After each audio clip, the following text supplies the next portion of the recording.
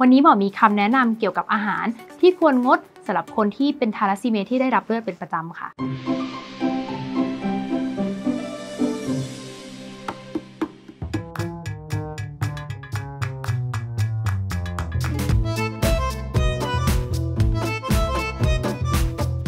ป่วยทาลัสซีเมียที่ได้รับเลือดเป็นประจำ มีความเสี่ยงที่จะเกิดภาวะเหล็กเกินในร่างกายค่ะ ซึ่งทำให้เกิดภาวะหลาย ๆ อย่าง เช่น ตับแข็งหรือว่าอาจจะทำให้เป็นเบาหวานได้ อาหารที่ควรงดสำหรับคนที่เป็นทาลัสซีเมียที่ได้รับเลือดเป็นประจำ อย่างแรกนะคะก็คือเครื่องในค่ะ เครื่องในสัตว์เนี่ยค่ะมีธาตุเหล็กปริมาณมากนะคะ โดยเฉพาะตับ เพราะฉะนั้นในผู้ป่วยทาลัสซีเมีย หรือว่าคนที่ได้รับเลือดเป็นประจำเนี่ยด้วยสาเหตุใดๆก็ตามเนี่ยควรจะลดหรือว่างดไปเลยก็ดีค่ะ อย่างที่สองนะคะก็คือผักใบเขียวค่ะ เช่น ผักคะน้ากวางตุ้งบรอกโคลีหรือว่าผักโขมค่ะ พวกนี้เนี่ยก็มีเหล็กเยอะเหมือนกัน ไม่ต้องถึงกับงดนะคะ อาจจะแค่ลดลงก็ได้ อย่างที่ 3 นะคะ ก็คือธัญพืชค่ะ ไม่ว่าจะเป็นถั่วเขียว ถั่วดำถั่วเหลืองนะคะ เช่นผลิตภัณฑ์ถั่วเหลือง อย่างเช่นเต้าหู้ก็มีธาตุเหล็กเหมือนกันนะคะ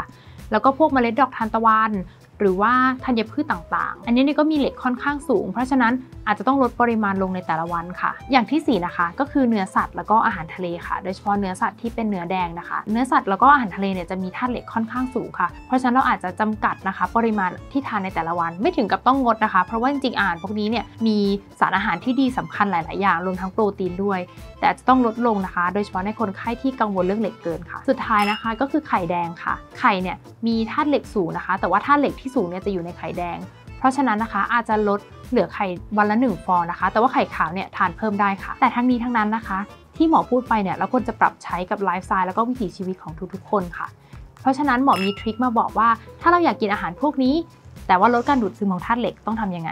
อย่างแรกนะคะ ควรจะทานคู่กับชาหรือว่ากาแฟค่ะ ชาหรือกาแฟนะคะ มีแทนนิน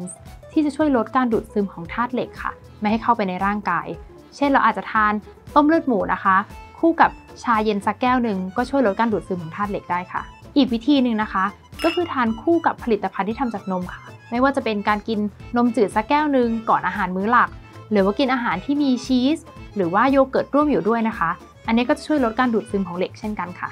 แถมยังได้โปรตีนด้วยนะคะ